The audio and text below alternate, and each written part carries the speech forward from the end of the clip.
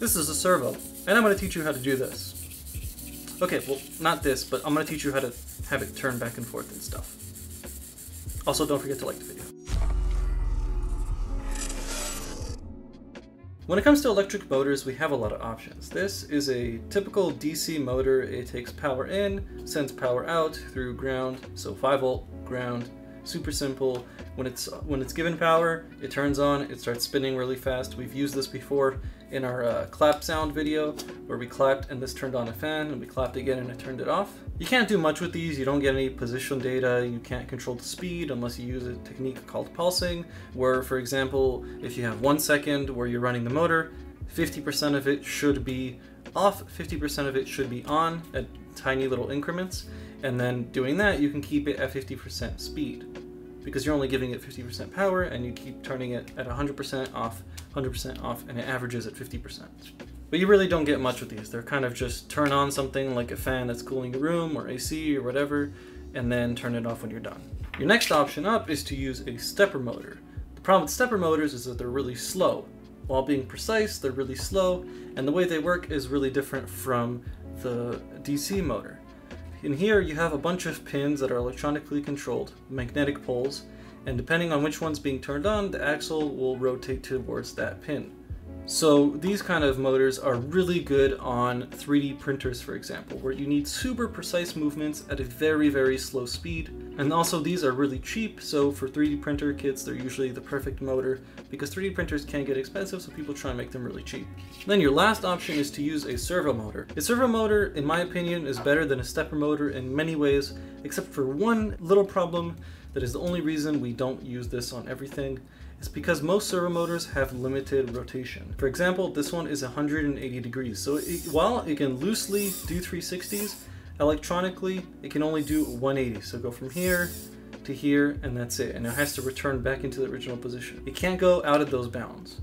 I have another one here that's absolutely gigantic compared to that little one. This one is only 120 degrees. So right now it's actually locked and if you move it to 120 degrees, you're gonna go and lock it again. We're gonna be using this servo motor, which has three cables coming out of it, brown, red, and orange.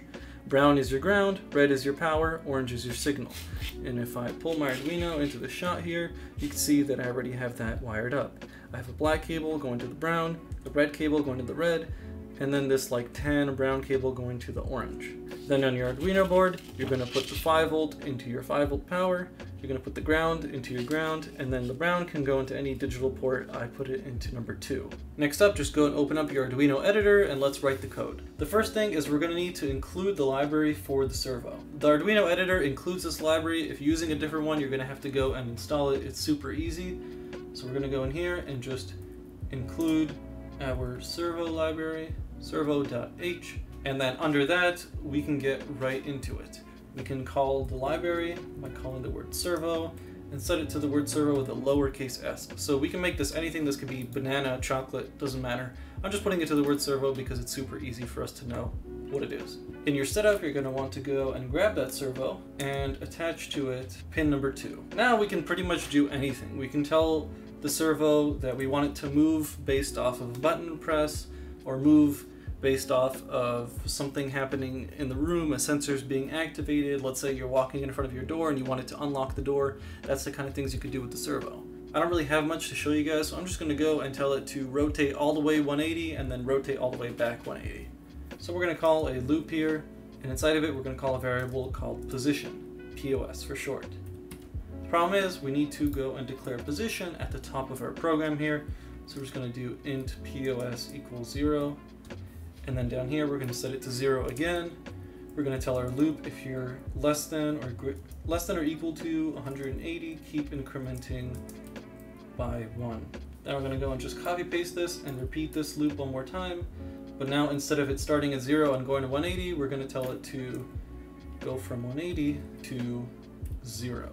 And then we're going to change this to be greater than or equal to.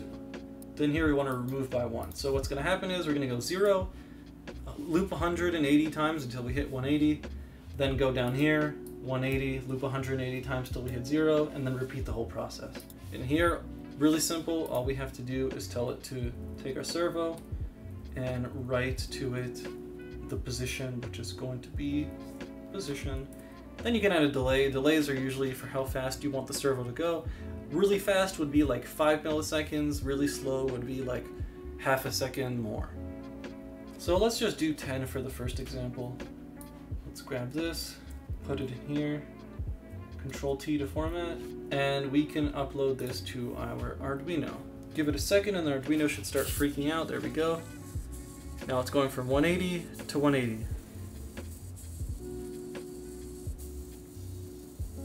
Now this is how you make it move. You can really go anywhere you want with it. Like for example, let's say I want to go and change this instead of 180 to be 50.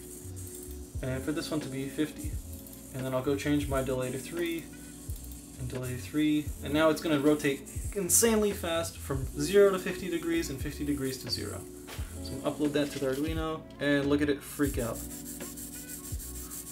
that's pretty much it. All you have to do is set up a conditional that let's say says if button is being pressed, turn on servos. Button is not being pressed, turn off servo.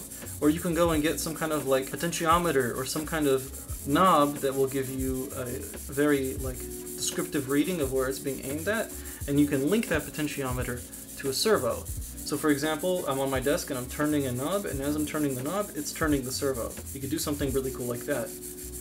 The cool thing about servos is that they can return information as well, so you don't have to use it as a motor, but you can use it for position data. So for example, I had the servo set up here, and I had something that it was connected to, and I wanted to know what that thing, what position it's in. So it moves the servo back and forth, and using that position data, I can send that to the computer and do something with it, or I can send that to another servo and do something with it. They're really useful, and there's, there's just a bunch of crazy things you could do with them. If you enjoyed this video and it was helpful for you, maybe consider subscribing to the channel and liking this video. I'll see you guys in the future videos where I'll be making more content on servos, sensors, motors, whatever.